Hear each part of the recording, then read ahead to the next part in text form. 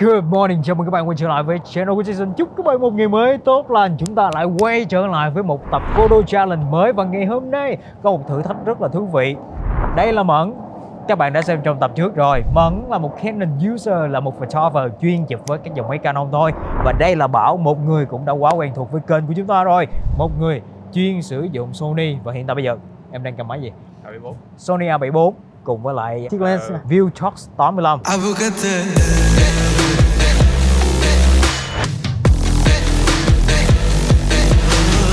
Em đang cầm máy gì? R5 và 2870 F2 Wow.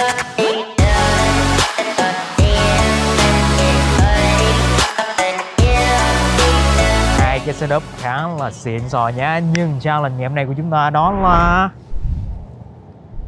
Than than than than Một người Canon user sẽ chụp với lại Sony. Còn một người chuyên chụp Sony Ngày hôm nay sẽ trải nghiệm với Canon Và thử thách đó là chụp portrait Chụp mẫu. Và model ngày hôm nay của chúng ta không ai khác Đó chính là Vĩ.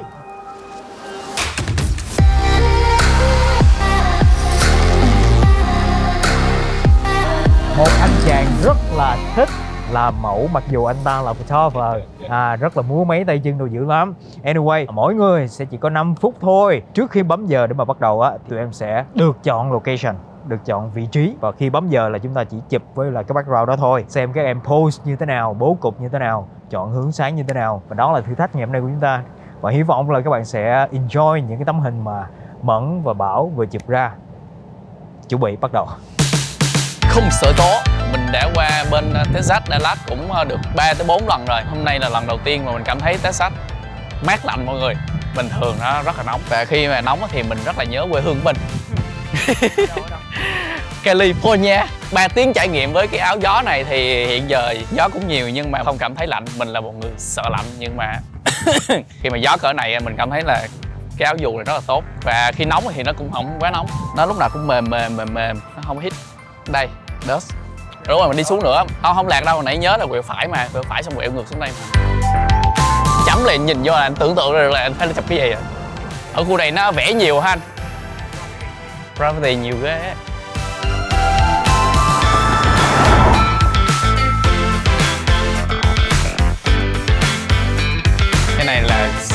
Challenge nha các bạn. Cho mình được lên 85 chụp với cái này. Không có zoom không gì hết á mình cứ đi tới đi lui thôi. Rồi quay quay đứng trước đây 5 phút chuẩn bị bắt đầu. Lên- 3, đây, lên- lên trên- 2, 1 Action. Đi lên cái đường kia đi vậy rồi. Bước ra cái thành á ngồi lên cái thành á. Cong cái tay lại xíu. Rồi đúng rồi. Rồi bỏ hai tay bên này nè. Rồi đúng rồi đá chân trước chân sau mặt quay nhẹ qua bên ánh nắng chút xíu thôi. Đúng rồi, đẹp. Thử nha. Giữa cái lưng vô quay, lưng ra ngoài nắng á. Cong cùi chỏ cái tay kia ra xíu để cho nhìn nó nó rộng cái người ra. Rồi, đi bộ nha. Rồi, đi bộ thoải mái. Một, hai, ba.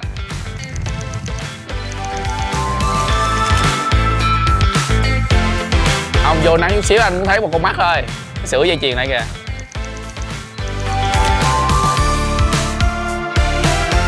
Tay cong vô tay dài đó thôi. Một tay dài đó thôi.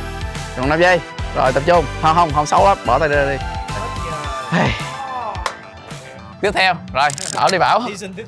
Bắt đầu sau đã là một lợi thế rồi.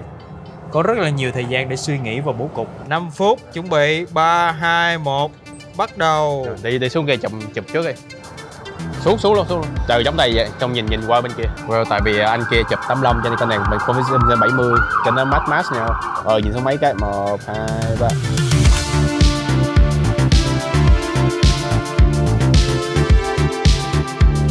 Rồi nhìn thấy mấy cái. Qua bên trái chút.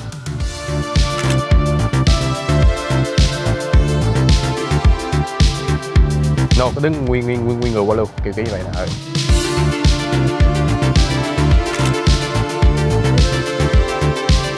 Hai phút này sao nhanh với người ta? Nãy bẩn chụp thì lâu vậy. Giờ ông chụp cho thấy nhanh.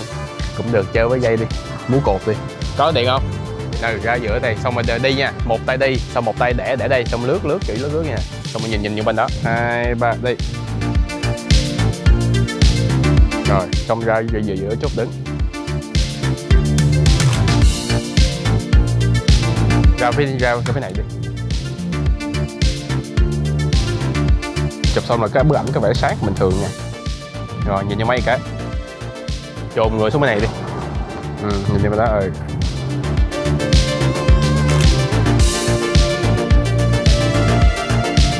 Xong rồi nằm gì nữa Alright, cuối cùng chúng ta cũng đã hoàn thành xong hai phần chụp của Mẫn và cả Bảo. Và ngay bây giờ mình sẽ show hình của từng người với phần tên ở ngay phía này.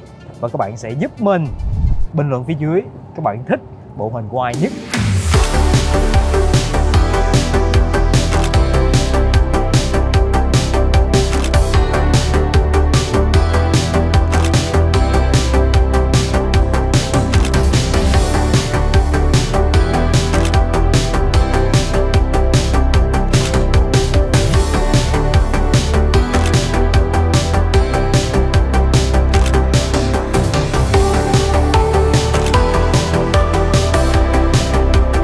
Vọng là các bạn enjoy những cái tấm hình vừa rồi do Mẫn và Bảo chụp và đây là một cái tập giúp các bạn sẽ giải trí và có thêm idea cho những cái phần chụp portrait hay là làm việc với mẫu của bạn trong những cái buổi chụp tiếp theo. Đây không phải là một cái cuộc thi nhưng mà nhưng mà người được bình chọn nhiều nhất sẽ nhận được một sản phẩm đặc biệt đến từ nhà tài trợ của video ngày hôm nay đó là Nurse thú vị như thế này người mẫu uh, chúc mua cho cây cà lem.